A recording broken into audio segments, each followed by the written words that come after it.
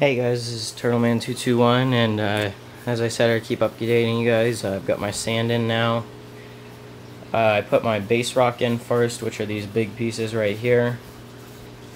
And uh, there's a bunch of sand on it, but I'll get that off. Um, so the point of that was to make it so if any of my fish were to burrow under um, my base rocks, my whole structure wouldn't fall. So the sand is around that, so they're not going to be able to go underneath the rocks and collapse my structure. And I'm just kind of starting to uh, make some caves and stuff.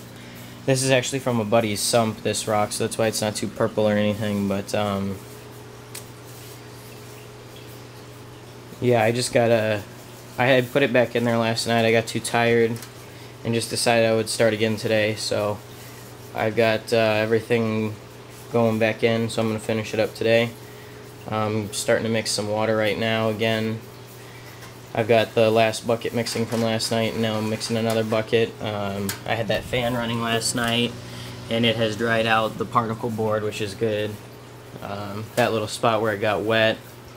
And I'm starting to get some ball valves and stuff so I can get my return. When I'm going to have a ball valve on my return and my uh, drain just in case. Um, so yeah, that's about it. I'll uh, update you guys here in a little bit. I'm going to start on my lighting and stuff, getting it all up in the canopy and stuff. So uh, I'll update you guys when I do something else. Thanks for watching.